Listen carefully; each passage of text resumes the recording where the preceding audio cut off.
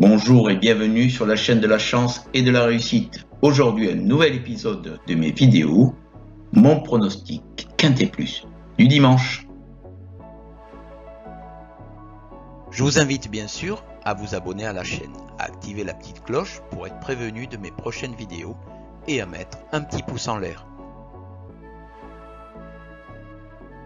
Voici tout d'abord le classement des meilleurs pronostiqueurs que vous pouvez comparer en toute transparence avec mes propres résultats. Pour ce dimanche 23 janvier 2022, nous sommes à Vincennes pour le prix de Cornulier, une épreuve d'attelé de 2700 mètres avec 15 chevaux au départ.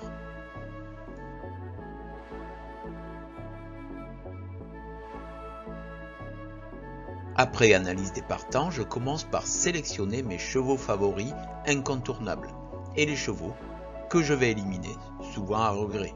Ceci me permet de me concentrer sur une liste de chevaux plus réduite.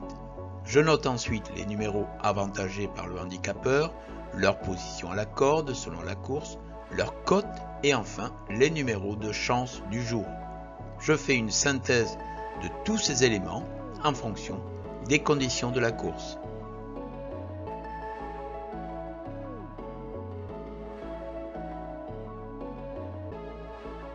Contrairement aux professionnels qui pronostiquent 8 chevaux, je préfère me concentrer sur seulement 6 partants.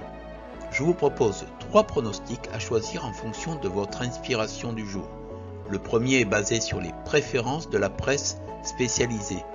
Bonne probabilité de gagner, mais gain espéré faible. Le deuxième tient compte des numéros de chance du jour. Faible probabilité de gagner, mais espérance de gain plus forte.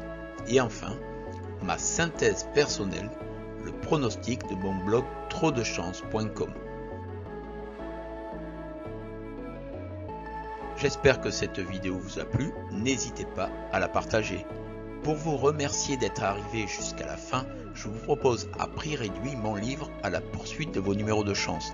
Il est en vente sur Amazon et dans la boutique de mon blog. Tous les liens sont rappelés en description sous la vidéo. Merci à vous et surtout prenez soin de vous et de vos proches.